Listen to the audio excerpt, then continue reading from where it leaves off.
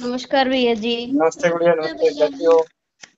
बस बढ़िया भैया जी आपके उपाय काफ़ी काम कर रहे हैं मुझे बना बना के देने पड़ते हैं। बना बना के देने।